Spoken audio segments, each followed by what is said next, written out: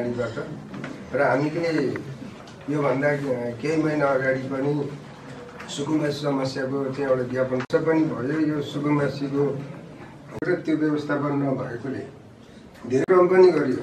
त्यो कार्यक्रममा उहाँ हाम्रो बद्री चाहिँ जुन कुराहरू चाहिँ आयो। अब हामी यो कुरा हो कि जिल्लाभरिको जिल्लाभरिको जिल्लाभरिको जिल्लाभरिको भन्नुपर्दा जिल्ला त्यो रत्नगर क्षेत्रभित्र जुन व्यवस्थापन गर्ने भन्ने कुरा चाहिँ भयो। तर अहिले त झन् व्यवस्थापन होइन कि बसेको ठाउँलाई पनि एकदमै तनाव हुने भयो। त्यस कारणले गर्दा अबको यो जनप्रतिनिधिहरू लगायत सबैजनाले अब यस विषयलाई कुन प्रकारले उहाँले चाहिँ व्यवस्थापन गर्नुहुन्छ र गर्ने कि नगर्ने त्यस विषयलाई अब एउटा हामीले ठाउँमा जग्गाहरूको लाभ छ। विशेष गरेर मैले रत्न अहिलेको जुन अवस्था अहिले स्थानीय सरकार जुन भइसकेपछिको जुन कुराहरू अहिले स्थानीय सरकार भइसकेपछि सुकुम्बासीलाई व्यवस्थापन गर्ने भन्दा त्यो सुकुम्बासीलाई उठिवास गराउने जस्तो सुकुम्बासीलाई चिडाएर चाहिँ एउटा खालको चाहिँ यो त्यो ढङ्गले चाहिँ तिमीहरूले चाहिँ यहाँ चाहिँ उठ्नुपर्छ भन्ने जस्तो कुराहरू अहिले नगर नगरमा चाहिँ भइराखेको छ। यहाँ भर बाटोको छेउमा। त्यहाँ छेउमा सुकुम्बासीहरू बसिरहेको छ? त्यो बाटो त तिनीहरू पहिलो प्रथम त व्यवस्थापन गरेर मात्रै त्यो अगाडि बढ्ने हो कि? के हो त्यसमा चाहिँ अध्यक्षज्यू कालिका नगरपालिकामा।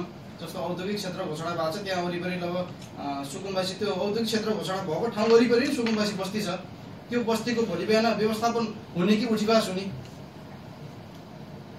त्यो पनि अध्यक्षज्यूले पक्कै पनि लिनुहुनेछ माओवादी केन्द्र विशेष सुकुम्बाई समस्या सम्बन्धमा उपरोक्त विषयमा हाम्रो सङ्गठन अखिल नेपाल सुकुम्बाई सङ्घ जिल्ला समिति चितवनले जिल्लामा रहेका अवस्थित सुकुम्बासीहरूको समस्या हिजोको पञ्चायत कालदेखि नै जहीँ त्यहीँ रहेको रहिआएको छ। देशमा सङ्घीय लोकतन्त्र लोकतान्त्रिक गणतन्त्रको स्थापना हुँदा समेत समाधानको लागि कहीँ कतैबाट पनि तत्परता देखाइएको छैन। रहने गरी कार्यक्रम आयोजना गर्ने भनी निर्णय गरिएकाले अध्यक्षको समय अनुरूप कार्यक्रम तय हुने भएकाले समयको मागको अपेक्षा गर्दछौँ। अध्यक्षबाट समस्या समाधानको ठोस पहल हुने अपेक्षा बोलेको थिएँ। र अहिले एजेन्डा प्रवेश गराएर अब यो सुकुम्बासी आयोग भनेर त अहिले नबनाएर बसोबास आयोग भन्ने रहेछ। पहिलाको सरकारले आफ्नो अनुकूलतामा बनाएकोलाई पुनर्गठन गरेर अहिले फेरि अहिलेको सरकारको अहिलेको हाम्रो घोषणापत्र अनुकूल यी तिनवटा उपायहरू अवलम्बन गर्ने भनेर अहिले सरकार चाहिँ त्यसैको तयारीमा लागिराखेको छ। अब मेरो लागि के भयो भने यो जिल्लामा सुकुम्बासी समस्या समाधानतिर लगिएन। भूमि सम्बन्धी समस्या समाधानतिर लगिएन भने त यो मेरो लागि पनि चाहिँ ठुलै विषय हुने भयो क्या नसकेको भन्ने हुन्छ। त्यसो भएको हुनाले मैले यो कृषि भूमि व्यवस्थापन र सहकारी मन्त्रालयमा लगातारै कुरा गरेर अस्ति दुई तिन दिन अगाडि मात्रै अब नयाँ आयोग गठन गर्ने प्रक्रिया अगाडि बढेको छ र त्यो आयोग हुने बित्तिकै तपाईँहरूले अहिले भन्नुभयो नि रत्ननगरको केस अथवा यो जिल्लाका अब बाँदर झुल्लाका केस छन् अन्त सबैतिर नदी किनारमा या गौचरणमा या विभिन्न ठाउँमा बसेका केसहरू छन्। ती सबैलाई आयोगबाट अध्ययन गराउने र सँगसँगै लाल पूर्जा वितरण घर दर्ता प्रक्रिया अगाडि बढाउने र स्थानान्तरण गर्ने यी तिनटै कुरालाई समानान्तर ढङ्गले अगाडि बढाउने तयारी भइराखेको छ। अब अहिले तपाईँहरूले जे भन्नुभयो अब यसले पनि अब मैले अहिले कारवाही गरेर समस्या समाधानमा पहल गर्न पर्यो। जहाँ तपाईँहरूलाई सताउन थाहे के अरे तह बनाएको निर्वाचन गरेको प्रदेश बनाएको त जनतालाई झन् सुरक्षित बनाउन अधिकार सम्पन्न बनाउन सिंहदरबारमा सबै अधिकार हुँदाखेरि चाहिँ जनताले दुःख पाए भनेर बनाए हो बनाउनु चाहिँ। तर उल्टो फेरि स्थानीय सरकार पनि सिंहदरबारै भएर निक्लिने।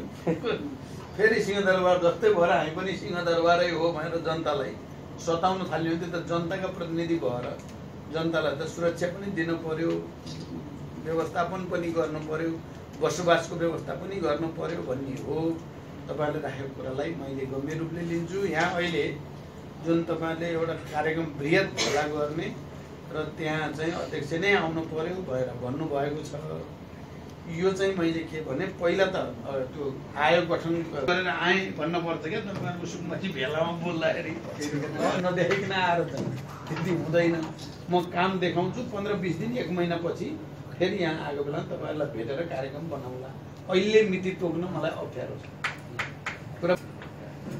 एक महिनापछि मिति तोकेर यो यो काम गरियो भनेर आउनु पर्यो क्या? त्यत्तिकै मुख्यमन्त्री लिएर आएर चाहिँ राम्रो देखिन्छ। है? अहिले ल। चाहिँ अहिले चाहिँ त्यो घर बनाउन पुरानो घरलाई मर्मत गर्न पनि एकदमै सहज भयो कि? एकदमै कठिनाइ भयो। अब त्यो बनाउनै पाइँदैन। यो घर चाहिँ नयाँ निर्माण गर्नै पाइँदैन भने त्यस्तो रोकावट आएको कारणले गर्दा।